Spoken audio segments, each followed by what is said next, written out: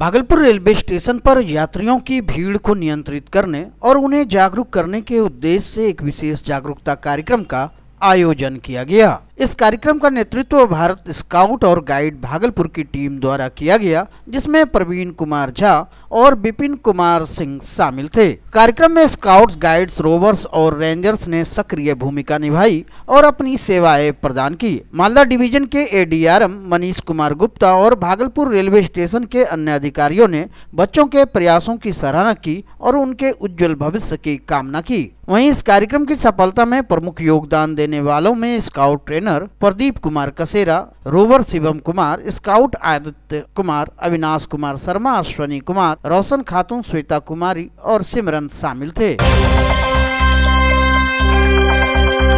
Bhagalpur bypass थाना क्षेत्र अंतर्गत पिस्ता चौक से एक गुमशुदा लड़के को बरामद किया गया है। पुलिस द्वारा दी गई जानकारी के अनुसार ये लड़का गया ज़िले का निवासी है, जिसका नाम विशाल कुमार सिंह, पिता का नाम अविनाश कुमार सिंह और माता का नाम नीतू देवी बताया जा रहा है। लड़के की उम्र लगभग 12 से 13 वर्ष के बीच है। वहीं बाईपास थाना अध्यक्ष प्रभात कुमार शर्मा ने बताया कि लड़का एक छात्र है। वहीं जानकारी के मुताबिक उसने 8 तारीख को गया से अपने माता पिता से झगड़ा कर साइकिल लेकर घर छोड़ दिया था जिसके बाद वह भागलपुर होते हुए वह अपने चाचा के पास बांका जा रहा था। हालाँकि बताया जा रहा है कि उसकी मानसिक स्थिति ठीक नहीं है। वहीं पुलिस ने लड़के के घर वालों को इसकी सूचना दे दी है। वहीं देर शाम विशाल के चाचा भागलपुर पहुँचे जिसके बाद बच्चे को सुरक्षित घर वापस भेजने की व्यवस्था की जा रही है। बाका से। बाका क्या चीज़ के लिए आए थे?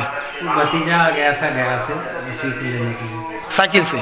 साइकिल लेके ट्रेन पे चढ़ा दिया था उसको। साइकिल चला के नहीं आया था। अच्छा। ट्रेन पे चढ़ा के इसीलिए लेकर आ गया। तो अभी आप लेके जा रहे हैं? हाँ लेकर क्या लगता है वो क्यों आया था? ऐसे माइंड से थोड़ा डिस्टर्ब है इसलिए बाबा दादी रहते बाबा दादी का प्रिय पोता है। इसलिए वो याद में आ गया बाबा को देखने के लिए। क्या नाम था उनका? लड़का का? लड़का का नाम विशाल। विशाल कुमार सिंह। अच्छा यानी कि अब अभी आप लेके जा रहे हैं हाँ लेके जा रहे हैं। तो कैसा लग रहा है? ठीक लग रहा है? ठीक ठीक। आपके सहयोग से बहुत धन बहुत बहुत धन्यवाद। और राजपूत ब्राह्मण के सोचने से आप यहाँ पे लाए। बड़ी खुशी हुई कि वो रात में खाना वाना खाया बोला बच्चा भूखा है इसलिए ले आए तो बहुत आपको हर तो अब इनको कहाँ लेके जाइएगा लड़का? अभी बाका बिशनपुर अच्छा तो आपका पूरा परिचय? मेरा नाम मृत्युंजय सिंह हुआ ग्राम बिशनपुर पोस्ट वाका ले भागलपुर के नवगछिया पुलिस को दो विभिन्न थाना क्षेत्रों में बड़ी सफलता मिली है। खरीक थाना क्षेत्र के नरकटिया स्थित बाँध की ओर जा रहे एक संदिग्ध व्यक्ति को गश्ती के दौरान रोका गया। पुलिस को देखते ही वह भागने का प्रयास करने लगा, लेकिन पुलिस टीम ने पीछा कर उसे पकड़ लिया। तलाशी में उसके पास से एक देसी कट्टा और एक ज़िंदा कारतूस बरामद किया गया। गिरफ़्तार व्यक्ति की पहचान गौरीपुर निवासी अंजीब चौधरी के पुत्र सन्नी कुमार के रूप में हुई है। वहीं दूसरी सफलता झंडापुर थाना क्षेत्र में हुई, जहाँ गोलीबारी और मारपीट की घटना को अंजाम देने वाले दो आरोपियों को पुलिस ने 24 घंटे के अंदर गिरफ़्तार कर लिया। इन अभियुक्तों की पहचान महेशपुर निवासी गौतम रविदास और सोनू रविदास के रूप में की गई है। प्रेस वार्ता के माध्यम से गोपालपुर थाना अध्यक्ष मिथिलेश कुमार और खरीक थाना अध्यक्ष नरेश कुमार ने सफलता की जानकारी दी है। गुप्त सूचना मिली थी कि नवगछिया से एक लड़का हथियार लेकर डिम्हा अपने गाँव की ओर जा रहा है। इस सूचना के सूचना पर आवश्यक कार्रवाई करते हुए हम अपने दल बल के साथ रोड में, अभिया रोड में चेकिंग लगाए हुए थे।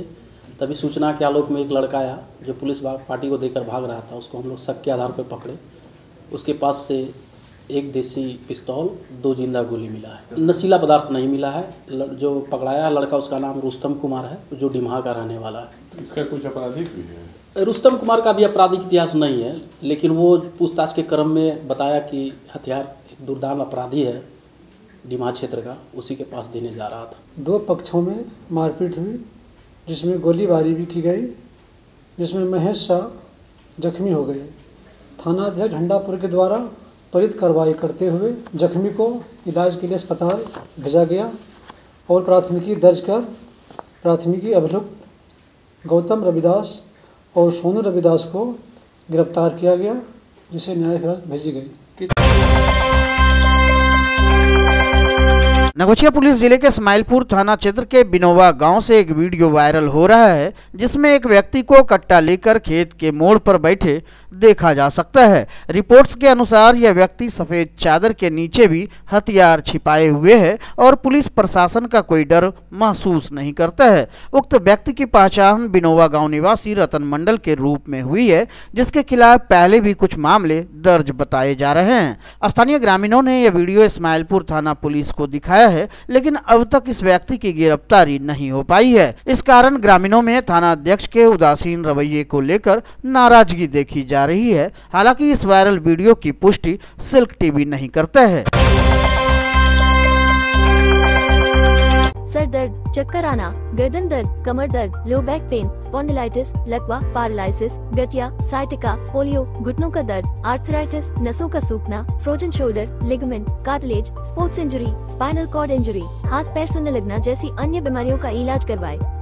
Doctor Praveen Kumar Jha physiotherapist advance neuro diagnostic and physiotherapy centre Gramin bank के नीचे, हटिया रोड, तिलका मांझी भागलपुर, बिहार, कॉल करें, nine four three one, double four double six double zero. Bhagalpur में कुलदेवी का जन्मोत्सव बड़े हर्षोल्लास के साथ मनाया जा रहा है। इस अवसर पर 108 मीटर लंबी चुनरी के साथ भव्य शोभा यात्रा निकाली गई, जिसमें 50 निशान भी शामिल थे। दरअसल यह यात्रा बुधिया गली से प्रारंभ होकर कोतवाली चौक, स्टेशन चौक, वैरायटी चौक और खलीफाबाग होते हुए ब्राह्मण मंडल में पहुंचकर संपन्न हुई। कार्यक्रम में हज़ारों श्रद्धालुओं ने भाग लिया, जिनमें रानीगंज, नवगछिया, टाटा और सूरत से आए भक्त शामिल थे। यह जन्मोत्सव पिछले छह वर्षों से निरंतर मनाया जा रहा है। विशेष बात यह है कि इस उत्सव के लिए 108 मीटर लंबी चोनड़ी विशेष रूप से सूरत से मंगाई जाती है।